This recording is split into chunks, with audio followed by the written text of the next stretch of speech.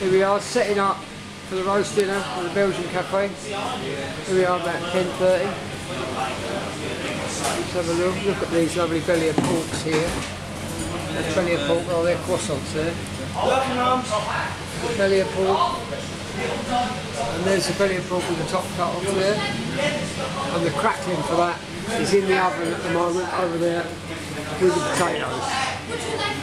Roasting away. Have we got anything in here? No, is Um, anything and these? I don't think we have as yet. Oh yeah, we Yes, we've got the gravy in this one.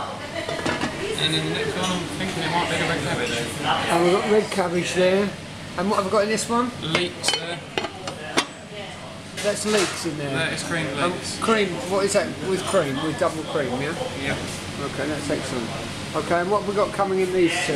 Um, we have potato, no, not potatoes. We've got potatoes in this one up here. We got carrots in there, and I'm not entirely sure what we've got going in here yet. Okay, well, we'll have a look. And maybe that'll be garden peas.